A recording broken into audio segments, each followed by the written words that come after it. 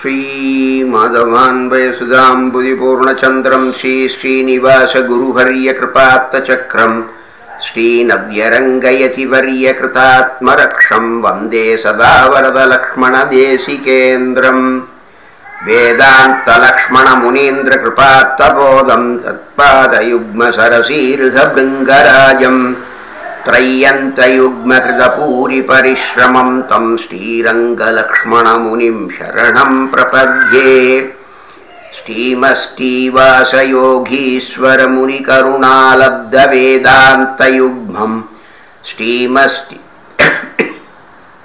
वेदान्तरामानुजगुरुपतयोरर्पितस्वात्मभारम् श्रीमत्सृत्यन्तरामानुज यतिनृपतेः प्राप्तमोक्षाश्रमं तं श्रीमष्टीवासरामानुजमुनिमपरं संश्रये ज्ञानवर्तिम् श्रीमद्वेदान्तरामानुजमुनिकरुणालब्धवेदान्तयुग्मम् श्रीमष्टीवासयोगीश्वरगुरुपतयोरर्पितस्वात्मभारम् श्रीमश्रीरङ्गनाथाह्वयमुनिकृपया प्राप्तमोक्षाश्रमं तं श्रीमद्वेदान्तरामानुजमुनिमपरं संश्रये देशिकेन्द्रम् श्रीमान् वेङ्कटनाथार्यः कवितार्गिहकेसरी वेदान्ताचार्यवर्यो मे सन्निधत्तां सदा हृदि प्रणामं लक्ष्मणमुनिः प्रतिगृह्णातु मामकं प्रसादयति यः सूक्तिः स्वाधीनपदिकां श्रुतिम्। அஸ்மத்குருபரம்பராய் நமஹா இதுவரையிலே காயத்ரி மந்திரத்தினுடைய விசதமான அர்த்தங்களை கிரமேண அனுபவித்தோம் அதற்கு மேலே இந்த காயத்ரி சிரசு என்று சொல்லப்படுவதான ஓம் ஆபஹா ஜோதி ரசஹா அமிர்தம் பிரம்ம பூர்புவ சுவரோங்கிறதற்கு அதனுடைய அர்த்தத்தை இப்போ கிரமேண அனுபவிப்போம். ஓம் ஆபஹா என்று தொடங்குறதான இந்த மந்திரத்தை காயத்ரி சரசுன்னு பெரியவா சொல்கிறா இந்த மந்திரத்துக்கு ரிஷி பிரம்மா சந்தசு அனுஷ்டு பரமாத்மா ஸ்ரீமன் நாராயணனே இதுக்கு தேவத்தை இதனுடைய அர்த்தம் அத்தி ஆச்சரியமானது ஓம் ஆபஹா ஓங்காரவாசியனான பகவானே. அதாவது அகாரவாசியனான பகவானுக்கு மகாரவாசியனான ஜீவாத்மா உகாரார்த்த சம்பந்தேன. அதாவது அவன் சேஷியான பரமாத்மாவுக்கு மகாரார்த்தமான ஜீவன் சேஷபூதன் அப்படின்றத சொல்றது இந்த பிரணவம்.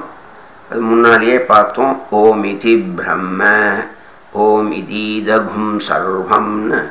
எல்லாமே இந்த பிரணவம் தான் பரபிரம்மே இந்த பிரணவமாகவே இருக்கு அப்படின்னு பார்த்தோம் இல்லையா? அதனால ஓங்கார ஓங்காரவாசியனான பகவானே ஆபங்கிற சப்தத்தினாலே அழைக்கப்படுகிறான். ஆபோவா இதகும் சர்வம். இத்தியாதி மந்திரங்களாலே முன்னாலே இவன் சொல்லப்பட்டவன். அப்சப்தவாட்சியன் யாருன்னா சாக்ஷாத் அச்சுதனான ஸ்ரீமன் நாராயணனே அப்படின்றத இங்கே ஸ்பஷ்டமாக சொல்லப்படுறது. ஆப்லு வியாப்தௌங்கிறது ஒரு தாத்து. அந்த தாத்துவிலிருந்து ஆப்னோதி இது ஆபஹா. எல்லாவற்றையும் வியாபிக்கின்றவனாகையினாலே இவன் ஆபஹா எனப்படுகிறான் அப்படிங்கிறது இங்கே வித்பத்தி அதாவது எல்லா பொருள்களிலேயும் இவன் வியாபித்திருக்கிறதுனாலே இது கரந்தசில் இடந்தொறும் இடந்திகள் பொருள்தொறும்னு எல்லா இடத்திலேயும் இவன் வியாபிச்சிருக்கிறதுனாலே இவனுக்கு ஆபகான்னு பேரு. இந்த ஜல ஜலத்துக்கும் ஆபகான்னு பேரு. இந்த ஜலத்துக்கும் எம்பெருமானுக்கும் அந்த வியாபகத்துவத்தில் ஒரு சாமியாதிபத்தியம் உண்டு. அதாவது ஜலம் மேடாக இருக்கட்டும் பள்ளமாக இருக்கட்டும். ஜலம் வந்ததுன்னா அந்த பள்ளத்தை ரொப்பிண்டு அது இந்த சர் அப்பர் லெவல் சர்ஃபேஸ் இருக்கு பாருங்க அது ஒரே மாதிரி இருக்கும். அப்போ எல்லா இடத்துலையும் அது வியாபிச்சிருக்கும். அதனாலே ஓம் ஆபஹா அப்படி ஆபசப்தத்தினால அந்த ஜல ரூபமாகவே இங்கே எம்பெருமான் இருக்கிறான். அல்லது ஜலத்துக்கு அந்தரியாமியாக எம்பெருமான் இருக்கிறான். சர்வம் சமாப்னோஷி எல்லாவற்றையும் நன்கு வியாபித்திருக்கிறாயின்னு அங்கே கீதையிலே அர்ஜுனனும் எச்சகிஞ்சித் ஜகத்யஸ்மின் திருஷ்யதே சூயதேபி வா அந்தர்பகிச்சதத் சர்வம் வியாபிய நாராயணஸ்திதா இது புருஷு நாராயண அனுவாகத்தில் பார்த்தோம் இப்படி பரசதமான ஸ்ருதி வாக்கியங்களாலே இந்த ஆபசப்தத்துக்கு அந்தர்யாமியாயிருக்கிற பகவான் பேசப்படுகிறான். இது ஒரு மகத்தான பிரமாண வாக்கியம். இந்த பிரமாணத்துக்கு எப்படி நாம் அர்த்தம் பண்ணிக்கணும்னா ஆப்னு அதை சொல்லக்கூடாது. ஆபஹான்னு அதை ப்ளூரல்ல அதாவது பன்மைன்னு சொல்லுவா தமிழில். அந்த பன்மையில் இந்த இடத்துல வேதம் படிச்சிருக்கு. அதனால் அதை சாந்தசம்னு நாம் வச்சுக்கிட்டோம் வச்சுக்கணும். அப்படி வச்சுக்கிட்டா தான் அதுக்கு நேரடியான அர்த்தம் கிடைக்கும். அது இல்லாமல் ஆபஹான்னு ஜலத்தையே சொல்றதா வச்சுண்டாலும் ஓங்காரவாசியனே ஜலத்துக்கும் அந்தரியாமி அப்படிங்கிறதான அர்த்தத்தை சொன்னா அது அந்த ஆப்னு சொல்லாம ஆப்பன்னு பன்மையில சொல்றதுனால சாந்தசம்னு வச்சுக்கிண்டு அந்த ஓங்கார வாசியனான பகவானே ஜலத்துக்கும் அந்தரியாமின்னு வச்சுக்கலாம். இப்படி அந்தர்யாமி பரியந்தமாகவோ அல்லது யௌகிகமான பகவானை நேராகவே குறிக்கிறதாக இருந்தாலோ எப்படி நாம அதை அர்த்தம் பண்ணிண்டாலும் ஆ போவா இதவும் சர்வம்னு யஜுர்வேத் சொல்லிடுத்து சர்வம் வா இதமம்மயம்னு அதர்வசிக சொல்லித்து இப்படி வேதங்கள்லாம் சொல்லியிருக்கிறத இந்த அர்த்தத்தை வச்சுக்கிண்டா தான் அந்த வேதத்துக்கு அந்த அர்த்தம் பொருந்தும். அதனால் ஓம் ஆபகாங்கிறதுக்கு ரெண்டு விதமான அர்த்தம். அதாவது எம்பெருமான் ஜலரூபியாகவே இருக்கிறான்னு ஒரு அர்த்தம். இன்னொரு அர்த்தம் ஓங்கார வாசியனான பரபிரமமான ஸ்ரீமன் நாராயணன் ஜலத்துக்கும் அந்தர்யாமியாக இருக்கிறான் அப்படிங்கிறதான இந்த ரெண்டு அர்த்தத்தை ஓம் ஆபகாங்கிற பதத்துக்கு வச்சுக்கணும். அதுக்கு மேலே ஜோதிஹிங்கிறதான பதம் ஜோதிஷ்னா நமக்கு தெரியும் ஒளி பிரகாசம். அந்த ஜோதி ஸ்வரூபனும் இந்த எம்பெருமானாகவே இருக்கிறான்.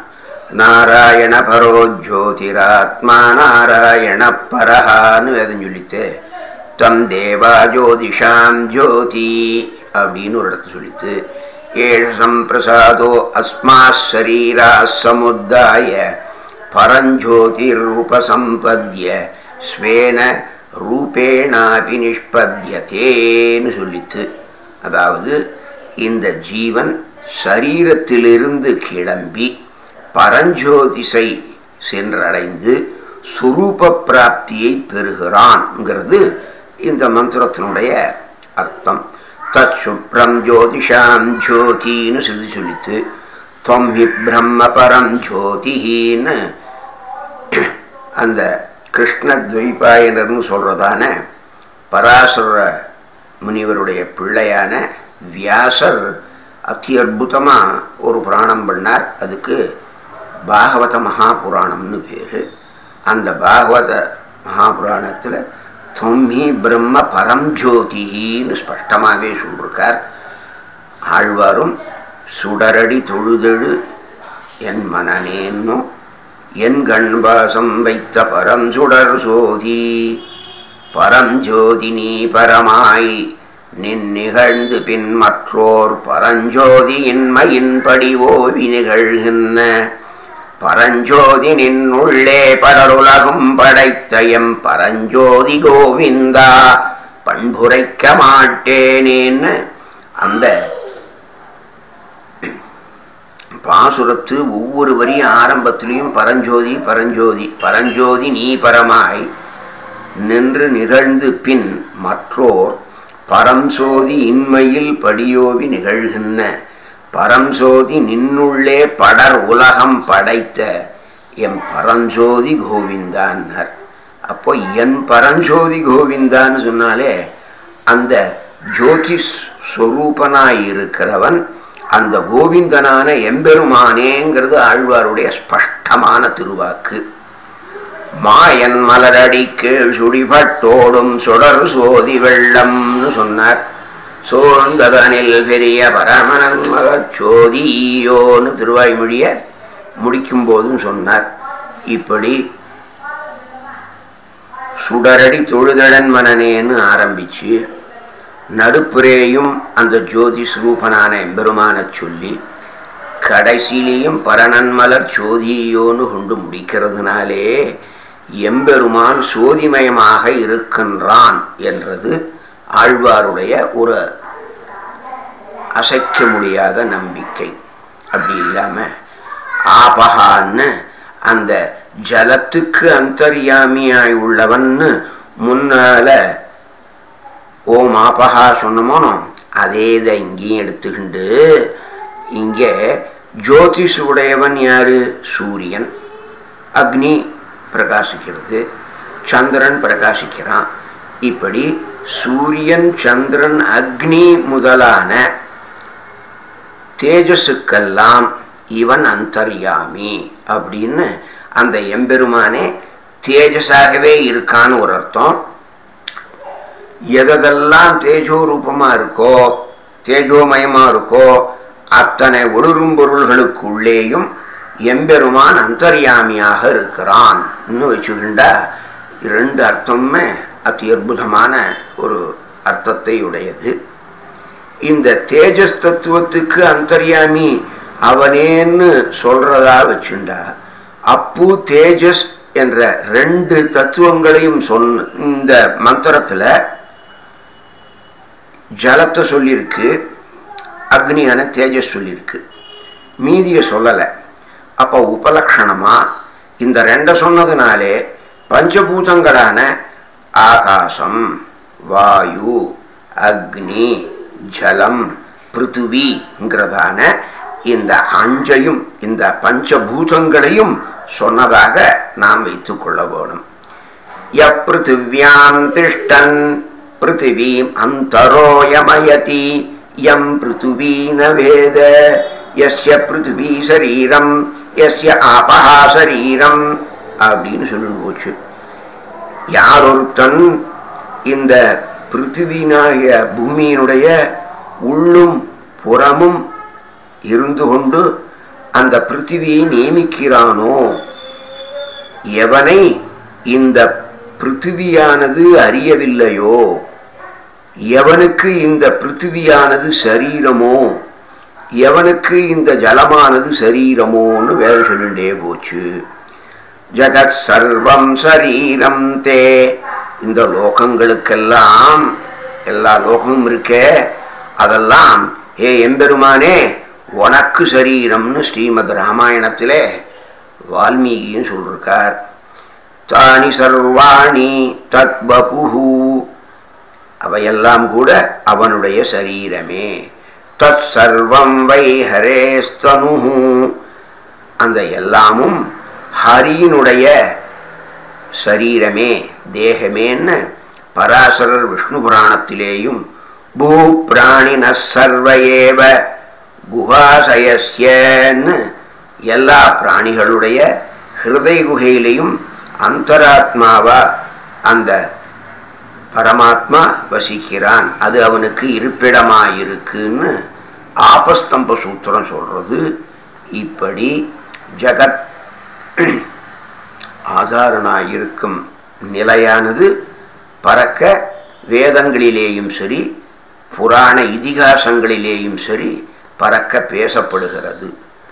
ஆழ்வாரும் திட விசும்பு எரிவழி நீர் நிலம் இவை மிசை படர் பொருள் முழுவதுமாய் அவை அவை தொறும் உடல் மிசை உயிர் எனக் கரந்து எங்கும் பறந்து உளன் சுடர் மிகு சுருதியுள் இவை உண்ட சுரனேன்னு திருவாய்மொழியினுடைய ஆரம்பத்தில் உயர்வர பதிகத்தில் முத முதல்லையே சொல்கிறார் நீராய் நிலனாய் தீயாய் காலாய் நடுவானாய்ன்னு ஆழ்வாருடைய அனுசந்தானம். இப்படி முதல்ல ஜலத்துக்கன் தெரியாமையாக இருக்கிற பகவான் அல்லது ஜலஸ்வரூபியாகவே பகவான் இருக்கான். அப்புறம் ஜோதி சுரூபனா இருக்கான். அந்த ஒளிரும் பொருளுக்கு அனைத்திற்கும் அவனே அந்தரியாமியாக இருக்கான். ரெண்டு சொன்னதுனாலே பஞ்சபூதங்கள் அஞ்சாவும் அவனே இருக்கான். அந்த பஞ்சபூதங்களுக்கெல்லாம் அந்தரியாமியாகவும் அவனாவே இருக்கான்ங்கிற அர்த்தம் நமக்கு ஸ்பஷ்டமா தெரிகிறது அதுக்கு அடுத்தது ரசஹா ரசஸ்வரூபனாயிருப்பவனும் ஓங்காரவாசியனான இந்த பரமபுருஷனான பகவானே நாம முதல்ல சீக்ஷாவல்லியிலேயே பார்த்தோம். ரசோவை சஹா. ரசம் ஹேவாயம் லப்வானந்தி பவதீன். அந்த பரமபுருஷன் ரசஸ்வரூபனாயிருக்கிறான். ரசஸ்வரூபியான அவனை அடைந்து ஜீவாத்மாவானவன் ஆனந்தத்தை அடைந்தவனாக ஆகிறான்னு பார்த்தோம் இல்லையா? அப்போ சர்வகந்தகா சர்வரசகா எல்லா கந்தங்களையும் அவனே உடையவன் எல்லா ரசங்களையும் அவனே உடையவன். யோக சிவதமோ ரசகான்னு வேதம் சொல்லித்தே இப்படி ரசகா இது இப்போ எத்தனையோ பொருள்கள் ரசவத்தா இருக்கு. இல்லையா? அந்த ரசவத்தா இருக்கிற அத்தனை பொருள்களிலேயும் அந்த அமிர்தமா ரசமா இருக்கிறவன் அந்த எம்பெருமானே. இப்போ எத்தனையோ இனிப்பு பலகாரம் பண்ணுறா ஸ்வீட்ஸ் பண்ணுறா அதை என்னன்னு நாம் விவரிக்க போனோம்னா நம்மளால முடியாது. அல்வா எப்படி இருக்கும்? ஸ்வீட்டாக இருக்கும். பாதுஷா எப்படி இருக்கும்? ஸ்வீட்டாக இருக்கும். ஜாங்கிரி எப்படி இருக்கும்? ஸ்வீட்டாக இருக்கும். மைசூர் பாக்கு எப்படி இருக்கும்? ஸ்வீட்டாக இருக்கும். லட்டு எப்படி இருக்கும்? ஸ்வீட்டாக இருக்கும். என்ன சுவாமி எல்லாத்துக்கும் ஸ்வீட்டு ஸ்வீட்னா இப்போ எல்லாம் ஒன்றா வெவ்வேறு இல்லையாண்ணா? அட அந்த ஸ்வீட்டை சாப்பிட்டு அனுபவிச்சாதான் அதுக்கு இதுக்கு இருக்கிற டிஃப்ரெண்ட் டேஸ்ட்டு உமக்கு புரிஞ்சுக்கிறது முடியுமே தவிர வாயால் எத்தனை தான் சொன்னாலும் அது உமக்கு தெரியாது சுவாமின்னு சொல்கிறது இல்லையோ அந்த மாதிரி ரசஹா. இப்போ உலகத்தில் எத்தனையோ பழங்கள் இருக்குது எத்தனையோ தின்பண்டங்கள் சாப்பிட்ற பதார்த்தங்கள் இருக்குது அத்தனையிலையும் அத்தனை வித சுமாய் பேசிக்காக அறுசுவைம்பா அந்த ஆறு சுவையாகவும் பகவானே இருக்கான். இப்படி ஒரு இப்போ ஒருத்தருக்கு ஒரு சுவை பிடிக்கும் ஒருத்தருக்கு காரம் பிடிக்கும். ஒருத்தருக்கு புளிப்பு பிடிக்கும் ஒருத்தருக்கு இனிப்பு பிடிக்கும் ஒருத்தருக்கு துவர்ப்பு பிடிக்கும் ஒருத்தருக்கு கசப்பு பிடிக்கும். இப்போ எத்தனை பேர் பாவக்காயை விரும்பி சாப்பிட்றவா இருக்கா? அது மாதிரி எல்லாமே அவளுக்கு பிடிச்சா அது அவளுக்கு ரசோக்தியாக இருக்கிறதுனால தானே அந்த அதை ருசிச்சு விரும்பி சப்பு கூட்டி சாப்பிட்றா. அதனால் அத்தனை பதார்த்தத்துக்குள்ளும் ரசமாக இருப்பவன் எம்பெருமானே. இந்த ரசத்தை நாம் சொல்லுண்டு போனால் அது சாற்று முதுன்னு ஒன்று சொல்கிறோம் பாருங்க. அது ஒன்றும் இல்லை. வெறும் உப்பும் புளியும் ஜலத்தையும் துளி காரத்தை போட்டு பண்ணால் அது அமிர்தமாக இருக்க. அதுக்கு ரசம்னு சொல்கிறா அதான் சாத்து முள்ளுன்னு சொல்கிறோம் அது பண்ணுறவா பண்ணால் அவள் கைமணத்தினாலே இன்னும் ரொம்ப நன்னா சோபிக்கிறதையும் பார்க்குறோம் அது எதனாலேன்னா அதுக்குள்ளே ரசமாக அந்த எம்பெருமான் எழுந்திருளி இருக்கிறதுனாலே அப்போது ரசகாங்கிற பதத்துக்கு சுவையாக எம்பெருமான் இருக்கிறான். அல்லது எந்தெந்த பொருள்களுக்கெல்லாம் சுவை இருக்கிறதோ அந்தந்த பொருள்களுக்கெல்லாம் அவன் அந்தரியாமியாயிருந்து அப்படிப்பட்ட அந்த சுவையை கொடுக்கிறான் அப்படின்னு நாம் வச்சுக்கணும்.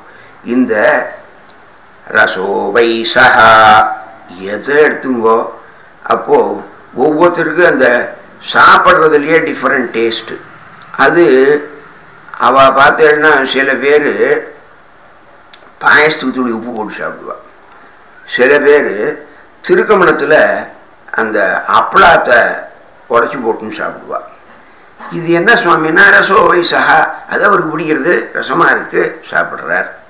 இல்லையா? இப்போ இந்த குழம்புலையோ சாத்துமுத்துலேயோ வடையை போட்டுண்டு சாப்பிட்றதா எத்தனை பேர் இருக்கா? அது மாதிரி அது அவளுக்கு ஒரு ஒரு சுவை. இப்போ தேங்காய் பண்ணுறோம் மணங்கொம்பு பண்ணுறோம் அதில் நன்னா தான் நன்னா பல்லு இருந்தால் கூட அந்த அரை அறத்தடியை சாப்பிட்றவா இருக்காளே அது ஏன்னா அது அவளுக்கு ஒரு சுவை. அந்த மாதிரி ரசோவை சஹா ரசம் ஹேவாயம் லப்வானந்தி பவதின்னு சொல்கிற மாதிரி அந்த பரமகிருஷ்ணான பகவான் ஸ்ரீமன் நாராயணன் ரசஸ்வரூபனாகவே இருக்கான். அந்த ரசஸ்வரூபியான அவனை அடைந்து நாமெல்லாம் பரமபதத்திலே அவனையொத்த ஆனந்தத்தை அடைய வேணும்ங்கிறது தான் இது. இதை ஆழ்வார்களும் ரொம்ப அத்தி அற்புதமாக சொன்னான். கனியை கரும்பின் சாற்றை கட்டியை தேனை அமுதை என்னும் கட்டியை தேனை அமுதை நன்பாலை கனியை கரும்பு தன்னைங்கிறத பாசுறோம் அச்சுதன் அமலனென்கோ அடியவர் வினை கெடுக்கும் நச்சுமாமருந்தமென்கோ நலங்கடலமுதமென்கோ அச்சுவை கட்டி என்கோ அரிசுவை அடிசிலென்கோ நெய்ச்சுவை தேரென்கோ கனியென்கோ பாலென்கேனோன்னு அழ்வாருடைய அனுசந்தானம் எனக்கு தேனே பாலே கண்ணலே அமுதே. எனக்கு என்னும் தேனும் பாலும் அமுதுமாகிய திருமால்னு சொல்றதுனாலே எந்த வேதமானது சர்வரசகான்னு உத்கோஷிக்கிறதோ இந்த விஷயத்திலே ஆழ்வார்களும் பலபடியாக அழங்கால் பட்டார்கள். ரசஹா ஓம் ஆபோ ஜோதிஹிங்கிற இடத்துல பஞ்சபூதங்களுக்கு அந்தரியாமியாயிருப்பவன் பகவான் ஒரு அர்த்தம் சொன்னோமே அதுக்கு இங்கே ரசகா என்பதற்கு ரசம் முதலியான பூத குணங்களுக்கும் அந்த அஞ்சு இது வருதோனும் அத்ரவியத்தில் சப்தம் ஸ்பர்சம் ரூபம் ரசம் கந்தம்ங்கிறதான அஞ்சு. அந்த அஞ்சு பூத குணங்களுக்கும் இவனே நிர்வாகனாக இருக்கிறான். அந்த ஐந்தாகவும் இவனாகவே இருக்கிறான்னு சொன்னது. சப்த ஸ்பர்சாதி குணங்கள் எல்லாவற்றிற்கும் உபலக்ஷணமாக பெற்றுக்கொள்ள வேண்டியது அதுக்கு மேலே இந்த அஞ்சும் ஆழ்வார் அத்தி அற்புதமாக சொல்கிறார். ஒன்றுலேருந்து ஒன்று எப்படி தோன்றது?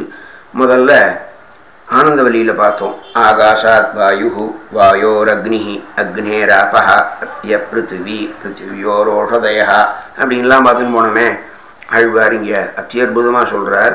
தன்னுடைய முதல் பாசுரத்திலேயே திருமிசைப்பிரான் பூநிலாய ஐந்துமாய் புனற்கணென்ன நான்குமாய் தீநிலாய மூன்றுமாய் சிறந்த காலிரண்டுமாய் மீனிலாயதொன்னுமாய் வேறு வேறு தன்மையாய் நீனிலாய வண்ணம் நின்னையார் நினைக்க வல்லரேன்னு அதாவது இந்த பூநிலாய ஐந்துன்னு சொன்னாரோனோ அப்போ பூமிக்கு சப்தம் ஸ்பர்சம் ரூபம் ரசம் கந்தம்ங்கிறதான அஞ்சு குணங்கள் இருக்கு. இந்த ஜலத்துக்கு அந்த கந்தத்தை தவிர மீதி இருக்கிறதான சப்தம் ஸ்பர்சம் ரூபம் ரசம் இருக்கு. அப்புறம் அக்னி. அக்னிக்கு சப்தம் ஸ்பர்சம் ரூபங்கிறதான மூணு இருக்கு. கால் கால்னா காற்று. அந்த காற்றுங்கிறது வாயு தானே? அந்த வாயுக்கு சப்தமும் ஸ்பர்சமுங்கிறதான ரெண்டு குணங்கள் இருக்கு. மீனிலாய துன்றுமாயினார் மீன் மீன்ங்கிறது ஆகாசம். இதோ ஃபிஷ்ன்னு நினச்சிக்க வேண்டாம் அதை மீன்னா ஆகாசம். அந்த ஆகாசத்துக்கு சப்தம் மட்டும்தான் குணம். அதனால அத்தை சொல்றார் அப்போ பூனிலாய ஐந்துமாய் புனர்கண் என்ற நான்குமாய் தீனிலாய மூன்றுமாய் சிறந்த காலி இரண்டுமாய் மீனிலாய தொன்றுமாகி வேறு வேறு தன்மையாய் நீ நீனிலாய வண்ணம் நின்ன யார் நினைக்க வல்லரேன்னு அங்க எவனாவது ஒருத்தன் எம்பெருமான் இப்படி எல்லாம் இருக்காங்கிறத நினைச்சு பார்க்கறானா? அப்புறம் நாற்றச்சுவையூறு ஒலியாகிய நம்பினர் திருமங்கை ஆழ்வார். நாற்றம் நாற்றம்னா அது என்ன கந்தம்னு அர்த்தம். நாற்றம்னா நல்ல வாசனைக்கு பேர் நல்ல கமகமன் வாசனைக்கு பேர் தான் நாற்றம். இப்போ அதை நம்ம வழக்கு தமிழில் என்ன பண்ணிட்டோம்? நாற்றத்தை நான் ஒரே நாற்றம் அடிக்கிறதுன்னு அதை இத்தா போட்டு நாற்றம் நாற்றமாய் நாற்றம்னா அது என்னவோ வாண்டாது. ஒரு பேட் ஓடர்னு சொல்கிறோமே அந்த மாதிரி துர்நாற்றத்தை நாற்றம்னாலே வாசனை. அது முன்னால் துரு சேர்த்தா தான் துர்நாற்றம்னு வரும். இப்போ அந்த துர்நாற்றத்தினுடைய அர்த்தத்தை நாற்றத்தினாலேயே நாம் சொல்ல ஆரம்பிச்சுட்டோம். அந்த நாற்றம்னா கந்தம் வாசனை. சுவை ரசம். ஊரு ஊருங்கிறது அந்த தொட்டுணர்வுன்றாலே ஸ்பர்சம். அப்புறம் ஒலியாகிய நம்பி சப்தம். இப்படி நாற்றம் சுவை ஊறு ஒலியாகிய நம்பின்னு திருமங்கையாழ்வார் அம்பெருமான் இப்படி அந்த பஞ்சபூதங்களினுடைய குணங்களாக இருக்கிறான்ங்கிறதையும் சொல்றார் சுவை ஒளி உரலாகி நிர்ணயம் வானவர். ஏற்றையே அன்னி மற்றொருவரை யானிலை எழுமைக்குமேன்னு நம்மாழ்வாருடைய அனுசந்தானம். சரி இந்த அர்த்தத்தை எல்லாம் அனுசந்திக்கிறோமே. இப்படி இந்த பஞ்சபூதங்களும் அவற்றின் குணங்களும் பகவானுடைய அதீனங்கள்னு இங்கே அதை தெரிஞ்சுக்கிறதுக்காகத்தான் நாம சொன்னோம்.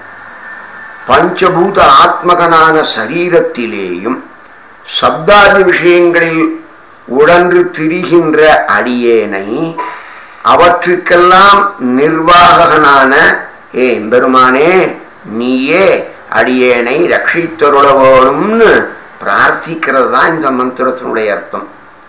இதனாலே இந்த விரோதிகளை எல்லாம் போக்கித் தருவன் என்னும் அர்த்தத்தையும் நாம் சேர்த்துக்கலாம். ஏன்னா பிராபியமாகிய கைங்கரியத்தை சாதித்து கொடுப்பவன்.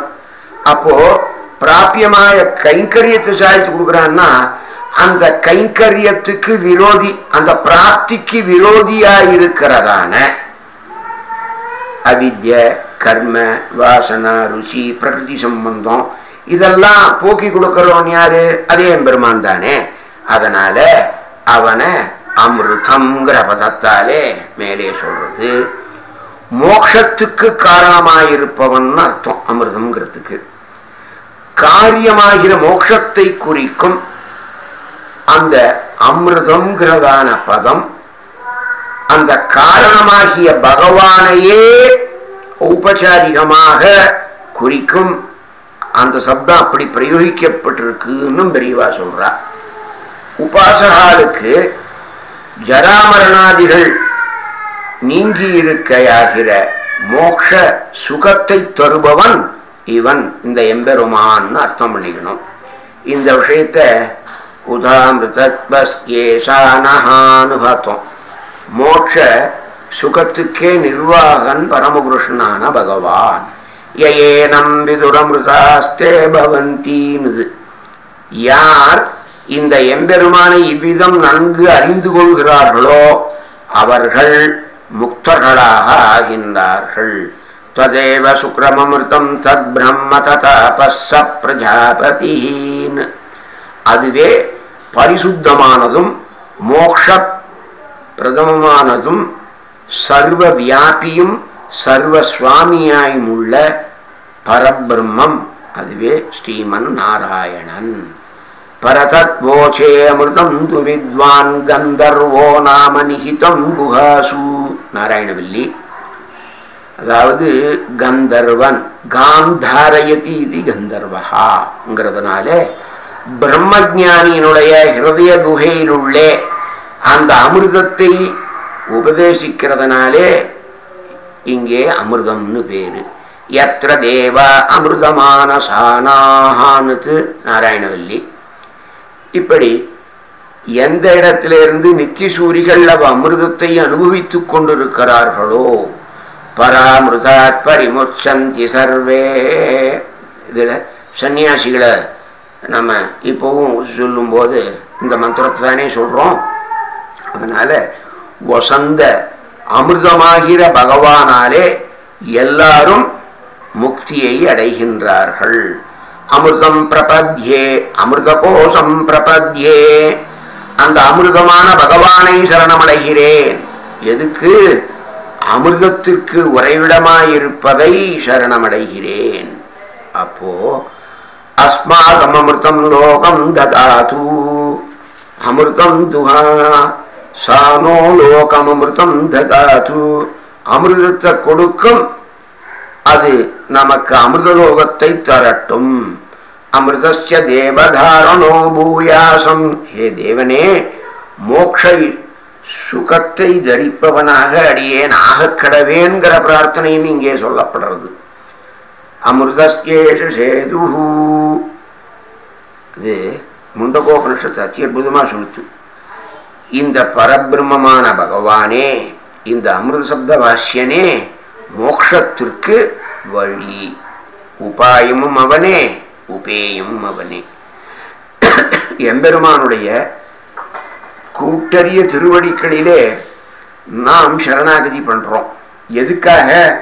அந்த கூட்டறிய திருவடிகளிலே ஸ்ரீவைகுண்டத்திலே நித்திய கைங்கரியம் பெருகைக்காக. அதனால் உபாயமும் அவனே பலனும் அவனே ரெண்டும் அவன் திருவடியே அமிர்தைசேஷேது அமிர்தத்வஞ்ச கச்சதி கௌதம ஸ்மிருதியில் பல ஸ்ருதிகள் வாக்கியங்கள் நிறைய இருக்கு. சொல்லுண்டு போனால் அது நேரம் போடாது வீடாக்கும் மெய்ப்பொருள்தான் வேத முதற் பொருள்தான் விண்ணவர்க்கு நற்பொருள்தான். நாராயணன்னு நான்முகன் திருவந்தாதியிலே நம் திருமிழிசை பிரான் ஸ்பஷ்டமாக சொல்லிட்டார்.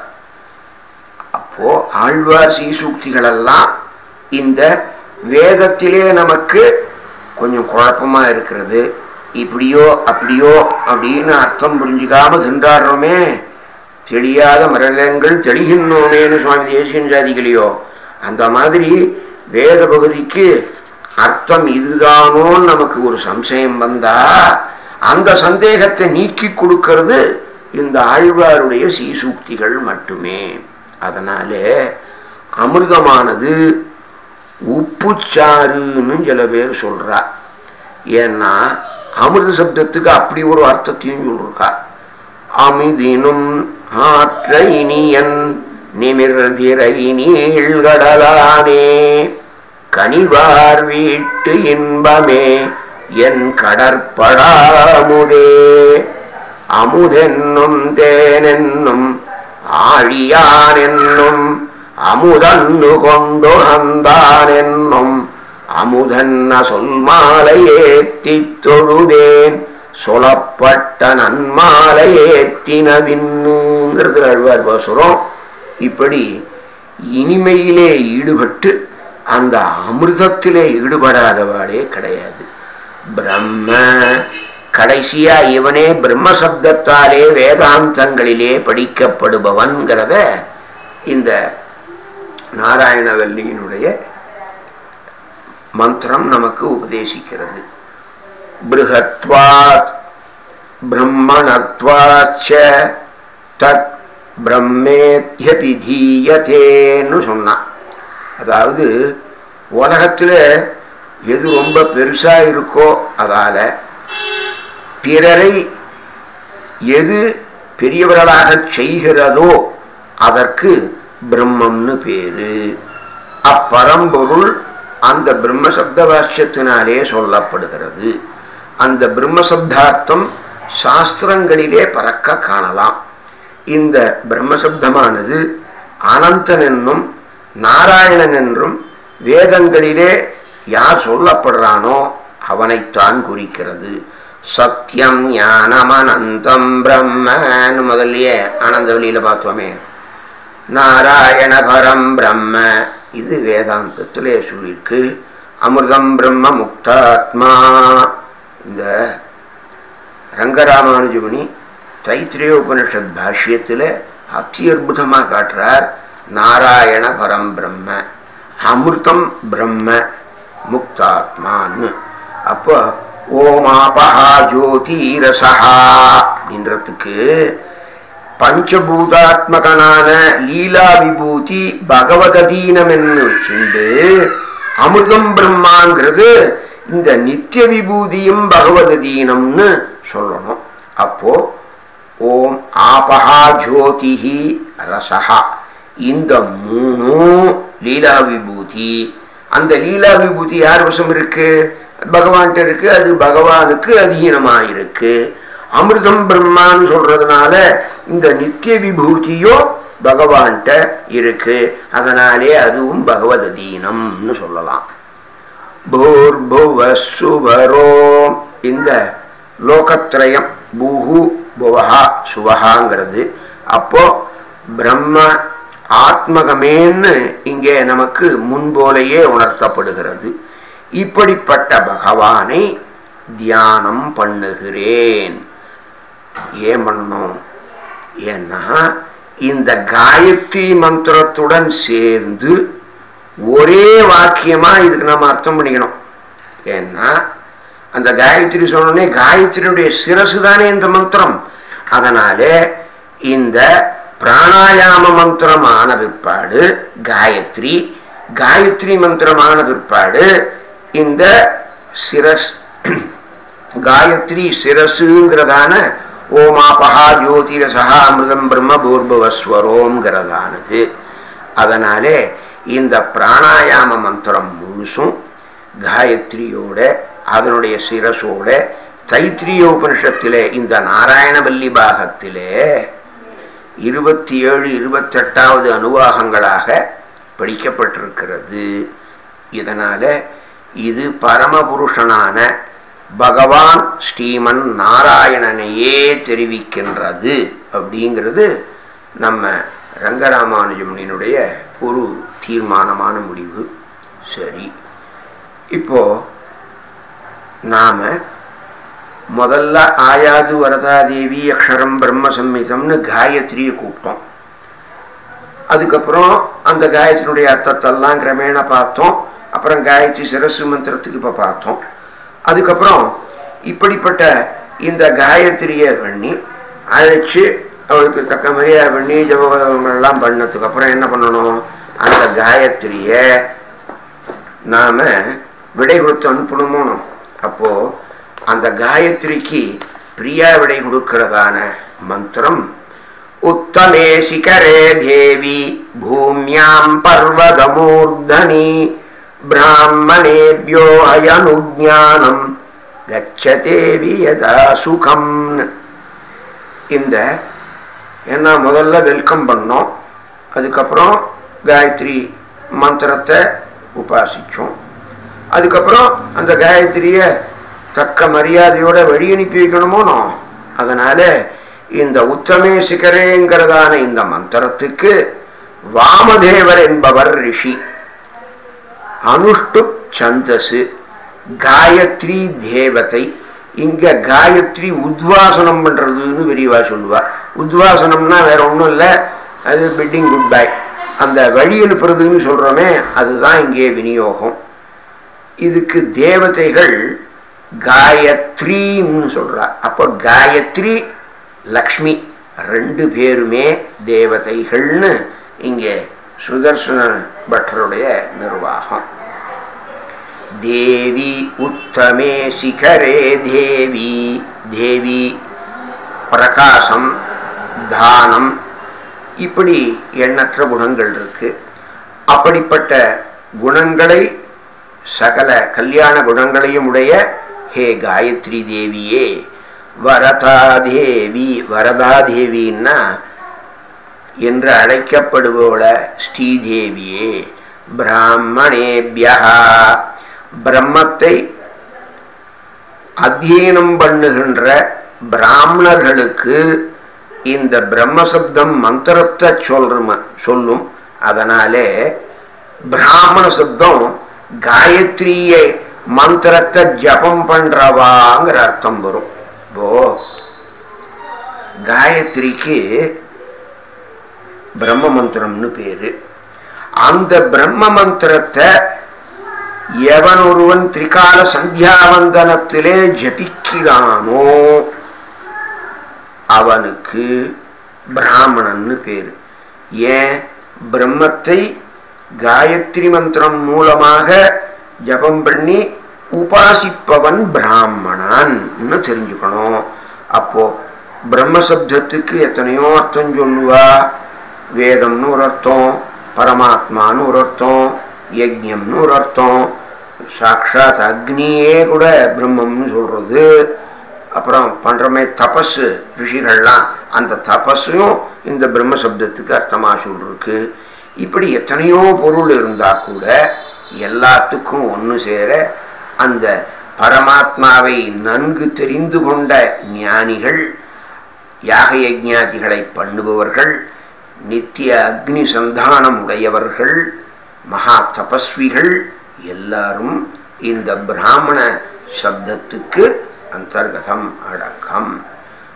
மந்திரஸ்வாத்தியாய யஜ்யாக்னி முனிமோக்ஷ பிதாமகா தபோ விஷ்மகிருத்ராச்ச சந்திரஸ்ய பிரம்மசஞ்சிதான்னு சொல்லித்து அதாவது மந்திரம் வேதம் யஜ்ஞம் அக்னி முனி மோக்ஷம் அதுக்கப்புறம் அப்பாவை பெற்ற அப்பா பிதாமகன்னு சொல்கிறோமே அது தபசு.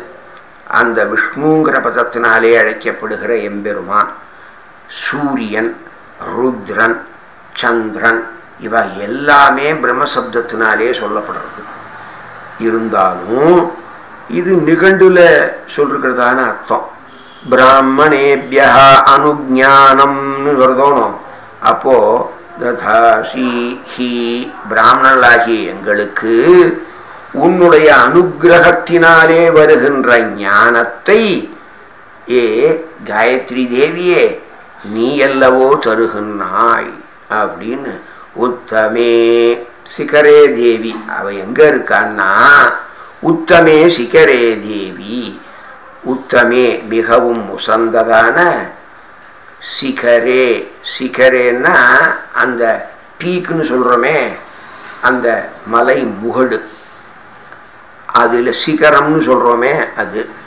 அதில் நீ எங்கே இருக்கேன்னா பர்வத மூர்தனி அப்போது மேரு பர்வதமோ சித்திரக்கூட்டமோ இல்லை திருப்பதியோ ரைவதகமோ கோவர்தனமோ எத்தனையோ பேர் அவளுக்கு என்ன நம்ம மேலே பிடிக்குமோ அதை பிடிச்சுவோன்னா அப்போது இந்த பகவானாலே அந்தந்த அவதாரங்களிலே ஆதரிக்கப்பட்டவைகளான அந்தந்த மலைகளின் சிகரங்களிலே யதா சுகம். எதுக்குன்னா சுகமா இஷ்டப்படி விளையாடுறதுக்காக தேவி ஹே தேவி காயத்ரியே ஹே ஸ்ரீதேவியே கச்ச நீ போ. போவாயாக. கச்ச தேவீம்னு இங்க பாடம் இருக்கிறதுனால தேவின்னா காயத்ரி தேவியை சொல்றது. காயத்ரி தேவின்னா வேற யாரும் இல்லை சாட்சாத் எம்பெருமானே.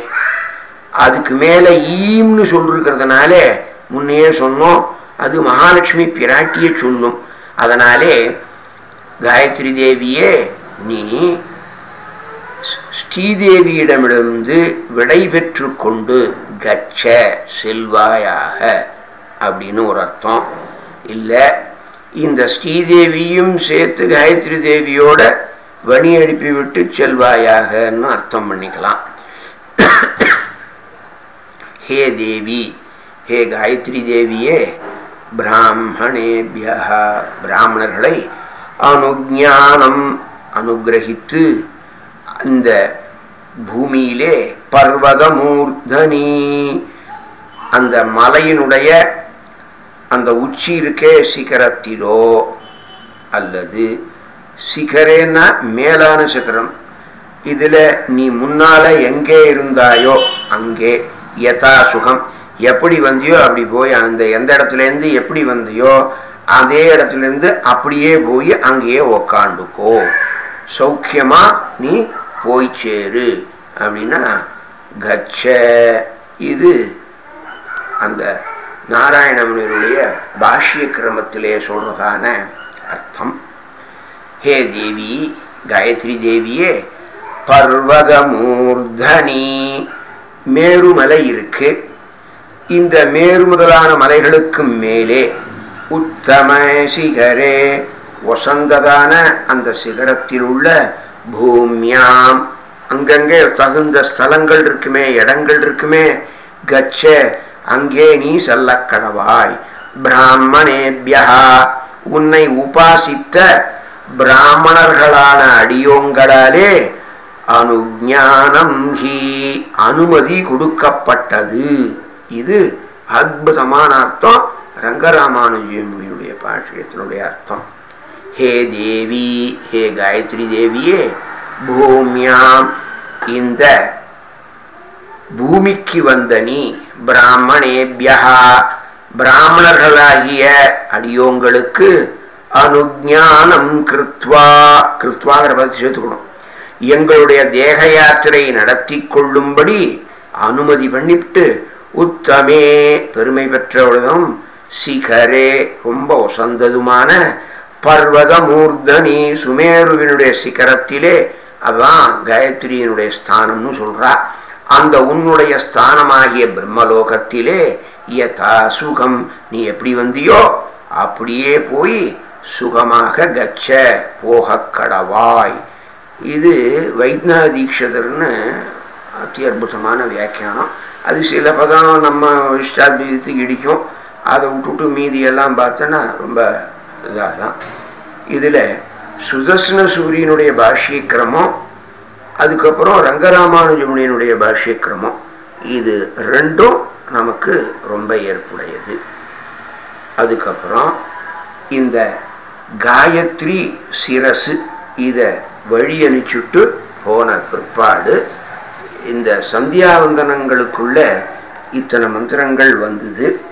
இந்த மந்திரங்களுக்கு மேலே அதுக்கப்புறம் இந்த மேலே நாராயண வழியில் பல மந்திரங்கள் இனி படிக்கப்பட இருக்கின்றன.